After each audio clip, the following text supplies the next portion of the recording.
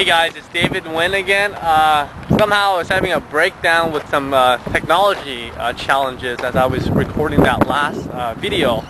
Um, I left off with um, with the business I was involved in with uh, helping local schools. It was profitable for about uh, two years, um, and something happened in the business. one of the partners actually, um, we had a total of three partners and uh, we had a breakdown in the business where it was just kind of a conflict of value where we didn't really feel connected with each other anymore.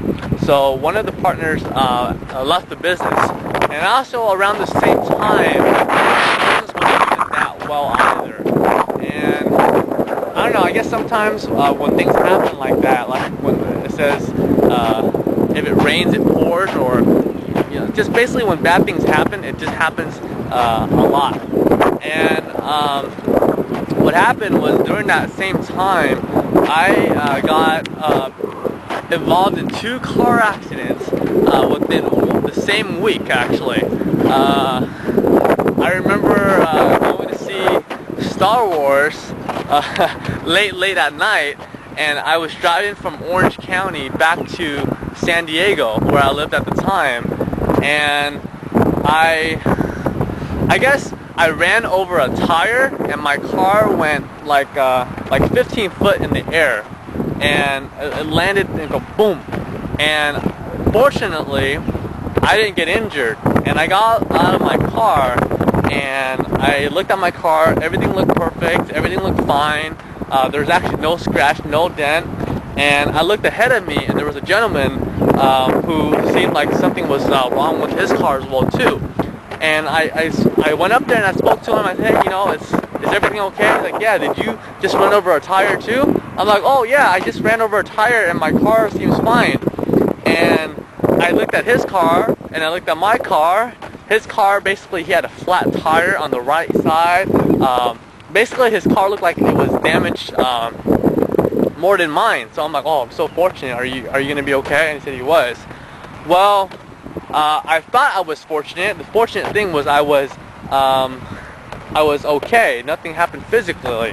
Um, when I was driving my car, it just made some weird noise, and I just really didn't pay attention. I was tired. I just wanted to go home. And the next morning, I decided to um, take the car to the dealership to to just check it out.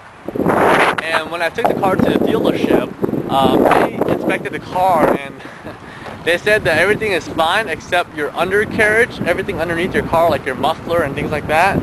Uh, they're pretty much totally gone. That's why you hear that weird noise and your car is very weak. So uh, it came out, an estimate came out to about uh, close to $8,000. And I was like, wow, I don't know how I can pay for that. Luckily I had insurance. And same week, uh, when I got back to Orange County, I was going on a, um, a little business trip with my partner, and he was driving, and then boom, we got into a car accident, a T-bone car accident, and luckily it was the other person's fault. Um, and what I learned from that is I was literally focusing on all the bad things in my life. Got in the car accident. I was very bitter. And, you know, next thing you knew, you keep on thinking about car accidents. You get into a car accident. And two car accidents within one week. And I was really down at that point in my life. And what happened was when I was at the dealership, when I was at the dealership, I uh, saw a newspaper ad in the in the newspaper, and uh, in the newspaper ad it says, uh, you know, um, it said real estate investor teaching enlightened wealth, something uh, like that. It was the headline. I was like, huh, this is interesting. So I read through it, and uh, what it was was uh, there was an author by the name of Robert G. Allen and Mark Victor Hansen, and they were going to be in San Diego promoting their uh, their book. And at that time, they were promoting "Cracking the Millionaire Code" was the name of the book. And I'm like, okay, okay. And in the, the newspaper, it happened to have free tickets. Says, you know, take this and uh, it's free admission. So I'm like, okay, um, business isn't going well. Got into two car accidents. I'm here, you know, waiting to pick up my car. Um, you know, let's let's give it a shot. And I went to the seminar. I went uh, to meet Bob and I went to meet Mark. And one thing when I was sitting in a seminar that really sold me um, was uh, Bob or Robert Allen uh, was saying in life there's only two doors. One marks security and one marks freedom. If you choose the door that marks security, you lose both. So when I heard that line, similar to when Jim Rohn said profits are better than wages, I said that really makes sense. And I've always been an entrepreneur. I've been an entrepreneur at heart. And I said, hey, you know what? I'm, I'm not choosing the door at mark security. I'm choosing door mark freedom. And what better way than to learn with people that have already traveled that path and and that's really what started um, to ignite um, this personal development growth within me. And from then, I bought Bob's package. At the time, it was uh, you know five thousand dollars. I became you know quote unquote protege, uh, part of the Enlightened Wealth Institute, and from then, I, I, mean, I went through lots of seminars, lots of training, and I've also bought lots of packages, and I, I've trained with lots of different people, and um, I I was going through this process, and I still had the business world too. And what I saw was I was growing at a rate, um, I guess I could say, that made me different than my business partners, and they're not really exposed to this really. Um, uh, uplifting. I mean, yeah, we do we do uplift each other. It's just not so much like in the seminar world or the personal development world where everybody's just like you know your brothers and sisters and people just you know, they just bring you up. You feel good, and you uh, you know you you work with these people, and that's the environment I was uh, exposed to for you know a good six seven months. And I I traveled to lots of seminars, different um, cities and states. And you're probably wondering, wow. And at that time, I was about 21, 22. Uh, well, actually, I was uh, 21 at the time because now I'm 22. Um, and you might be wondering, how did I get all that money? Because I can tell you, uh, these seminars aren't uh, aren't aren't cheap. It was quite an investment. I mean, I paid $5,000 for the protege package with Bob Allen. I uh, one seminar I, I paid close to $10,000 just to attend one seminar. And again, you might be like, wow, a kid at 21 having that kind of money. Uh, I can tell you, at that time, I didn't have that money. In fact, I leveraged all of that money on a uh, on a couple of credit cards actually.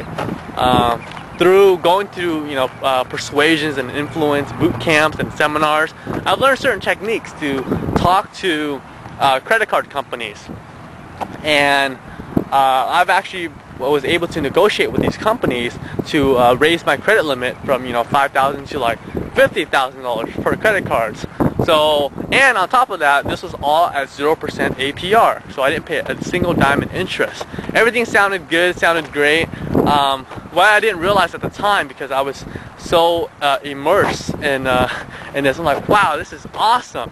I'm going to be a millionaire very shortly.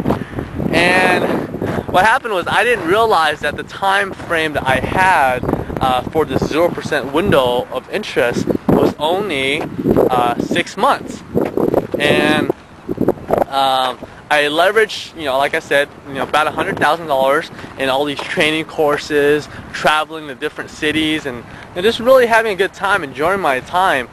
And remember, I still had the business, which I kind of didn't really even look after because I wasn't really passionate about that anymore after I heard about different uh, streams of making income. And I do take responsibility looking back that um, partly why the business failed um, was because uh, because of, of, of, my lack of uh, interest in the particular business. My business partners, in a way, went separate ways. We still communicated. We we talked to each other. Uh, there was definitely a breakdown in communication with all of us. And I'm actually going to share that with you in the next session because my camera is actually running a little bit low on battery. So until then, if you want to find out more about my story, you can go to my MySpace page at myspace.com forward slash KDS friend, or you can see it uh, right there at the bottom. So just go to my MySpace page, and this is still day one. Okay, today's April 27th of uh, my 90-day challenge. Just wanted to tell you, um, just a little bit background so you understand where I'm coming from and why I'm taking on this challenge and I you know I want to inspire you so whatever you want to do you will take action as well too. So until next time I will speak to you shortly. This is David Wynn signing out.